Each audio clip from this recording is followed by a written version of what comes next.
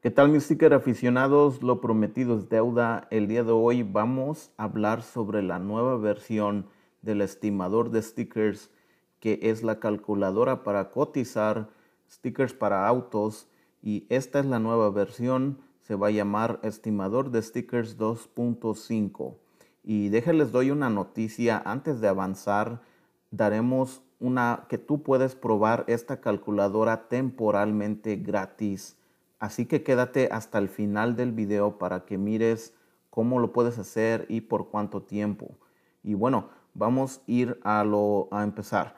Esta calculadora cuenta con instrucciones para su uso y también cuenta con la fórmula que se utilizó para esta calculadora para que tú mires cómo funciona.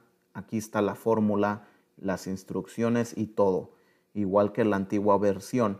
Claro, déjate digo que la antigua versión, si tú ya te habías acostumbrado a ella, también va a seguir siendo disponible, pero una vez que tú ingreses a tu cuenta, la que vas a ver al principio principalmente va a ser la nueva versión.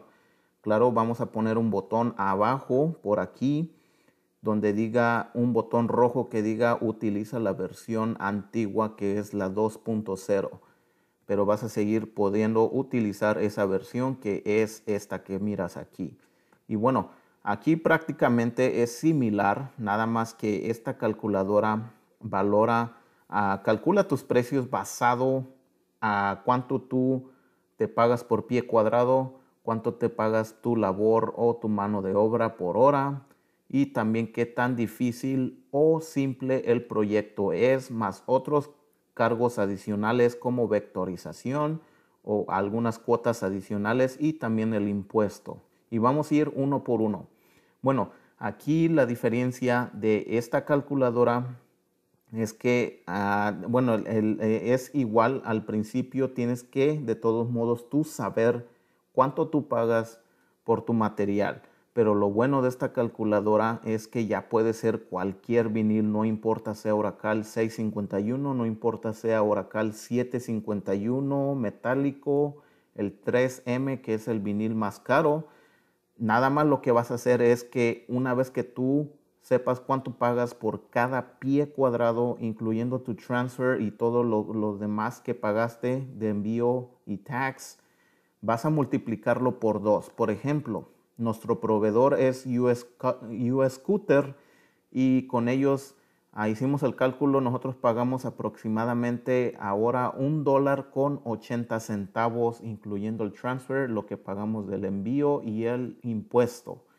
Y nosotros ya hicimos el cálculo, pagamos aproximadamente un dólar 80 centavos por Oracle 651 ya que nosotros tenemos la Graphtec que es de 24 pulgadas y nosotros compramos los rollos de vinilo de 10 yardas de 24 pulgadas y el, el transfer que es el Art Tape, el AT75, pero desafortunadamente ese es solo de 100 yardas y ese es de 24 pulgadas también.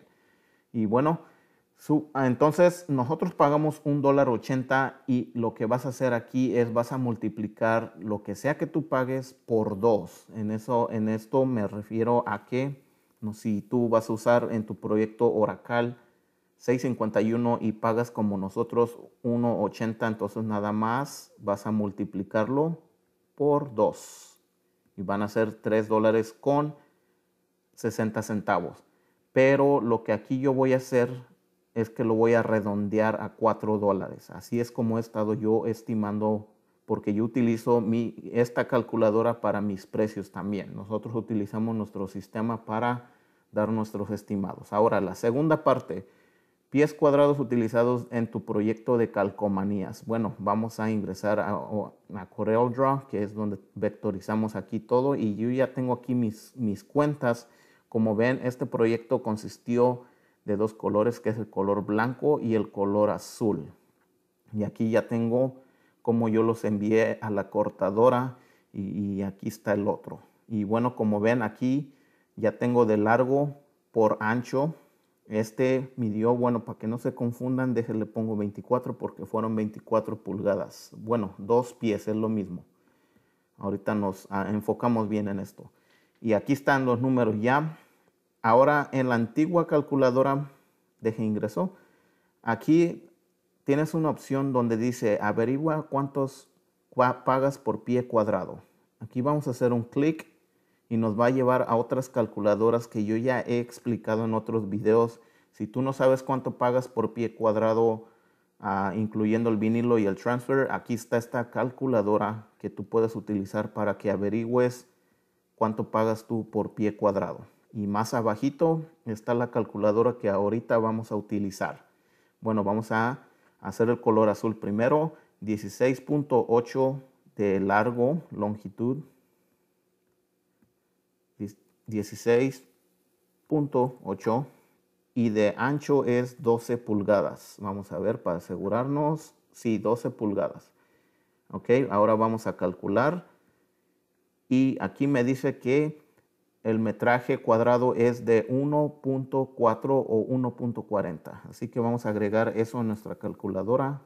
1.40. ¿Ok? Ahora vamos a hacer el color blanco que está representado aquí en color negro. 41.3 de longitud. 41.3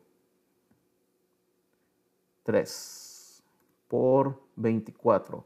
Y déjenles, aquí les explico porque ha habido confusión, ¿ok? ¿Por qué yo lo multiplico por 24? Porque esto representa el rollo que yo utilicé. Ya les dije, nuestra máquina es de 24 pulgadas. Así que tenemos que utilizar un rollo de 24 pulgadas ya que no, tenemos un rollo de 18 pulgadas y esta parte aquí me dice que mide 41.3 por 17.25. Pero tomemos en cuenta que esto es el extra que nos va a sobrar a nosotros. Tú nunca pongas estos gastos en ti, siempre cóbraselos los extras a tu cliente. Yo por eso lo multiplico a 24 y no a 17.25 como me dice el software, porque yo voy, aunque yo voy a utilizar este extra que va a sobrarme aquí, lo puedo utilizar más adelante, nunca sabes, los guardo yo esos extras, pero se los pongo en la cuenta del cliente. Él es el que va a pagar por esos extras, ¿ok? Siempre asegúrense ustedes de hacer lo mismo para que no pierdan dinero. Y bueno, vamos a calcular, calcular 6.88 de este que es el más grande. Ok, ya tenemos el primero, 1.40 más 6.88 88 que es del color blanco y el metraje cuadrado total de todo el proyecto son de 8.28 pies cuadrados que voy a utilizar para este proyecto. Ahora vámonos al estimador 2.5. Eso es el número que vas a ingresar aquí, que es 8.28. Estos son el pie cuadrado que utilizaremos para este proyecto. Ahora, la tarifa de mano de obra. Bueno, basado a información que hicimos en Estados Unidos, y recuerda esto bien, en Estados Unidos, ¿ok? Esto es nada más en Estados Unidos. El tipo para este tipo de procesos, la gente cobra alrededor de entre 130 dólares por hora hasta 180 dólares por hora. Estoy hablando de corte de vinilo adhesivo. No estoy hablando de wrappings o empapelado, como lo quieras llamar, que ese es un proceso más difícil y más caro. Esto es para lo, que es el vinilo adhesivo, letras, figuras. Eso es lo que normalmente se cobra en Estados Unidos, pero depende bastante en, el estado donde tú vivas. Nosotros aquí en Indiana más o menos se cobra 150 dólares por hora y ahora lo que esta calculadora ya no tienes que dividirlo como en la otra, que tiene las dos secciones, que es, vamos al regreso para que mires. Aquí está dividido el labor o el trabajo en dos secciones, que es la tarifa de hora por a lo que es configuración o como cuando preparas el proyecto o la instalación. Aquí ya es en general, no importa esto ya es por hora, no importa sea preparando, no importa sea instalando, es por hora. Ok, ya está ahí 150. Ahora, el tiempo de mano de obra invertido en tu proyecto. Yo a este cliente le calculé dos horas haciendo todo desde corte, agregando nuestro transfer e instalando todo esto, ya que nada más quiso en la parte de atrás, no quiso nada a los lados, nada más lo que miras aquí. En realidad tardamos una hora 40 minutos. Fue más rápido de lo que yo creí, pero de todos modos siempre calculo un número ya redondeado. Así que yo le puse dos horas y es lo que vamos a poner aquí. Tarifa de complejidad. Bueno, como les dije en el intro, esta calculadora funciona valorando tu tiempo, tu mano de obra al pie cuadrado y también qué, qué tan simple o difícil sea el proyecto.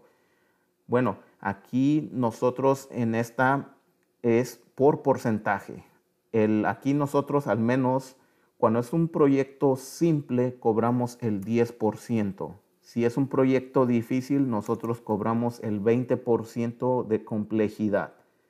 Y eso me refiero cuando, por ejemplo, algo difícil es cuando vas a navajear o cuando vas a instalar vinilo encima de los rivets o de los remaches, que eso atrasa más el proyecto, es más difícil para ti, o cualquier cosa que tú creas que es, consideres tú difícil, eso, eso va a ser el porcentaje más alto. De nuevo, nosotros este es lo nuestro, pero tú puedes hacer 30%, o no sé, basado a lo que tú creas que sea justo para ti. Nosotros de nuevo hacemos el 10% para simple, el 20% para lo difícil. Y este proyecto definitivamente fue simple, no fue difícil, fue fácil. Y esto lo que significa es que este porcentaje es basado a lo que tu mano de obra o lo que tú, el número que tú pongas aquí va a ser el porcentaje este. O sea que va a ser 15 dólares que se va a multiplicar por el tiempo invertido en mano de obra. O sea que si yo pongo el 10%, van a ser 30 dólares, porque es por 2. Si yo pongo 20%, entonces van a ser el 20% de esto, que vendrían siendo 30 dólares. 30 por 2 van a ser 60 dólares, ¿ok? Espero que me entiendan. Claro, siempre va a haber preguntas, nos las pueden dejar abajo en este video. Ahora, cuota de vectorización. Esa es la cuota que tú vas a cobrar si quieres a tu cliente por digitalizar, vectorizar o recrear su logo o diseño. O tienes que hacérselo desde un principio a fin, tú mismo lo diseñas, tú se lo cobras, nosotros le cobramos 20 dólares por vectorizar su logo, ya que este fue un primer, ah, la primera vez que trabaja con nosotros este cliente.